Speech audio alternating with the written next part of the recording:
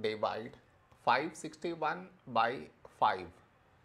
To do this division, we should frame it in this way.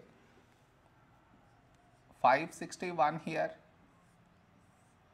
5 here. This is your step 1.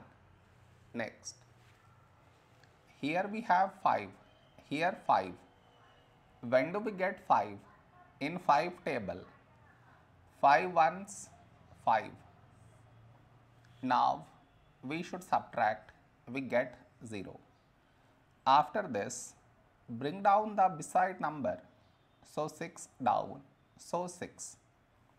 A number close to 6 in 5 table is 5 ones 5. Now we subtract, we get 1.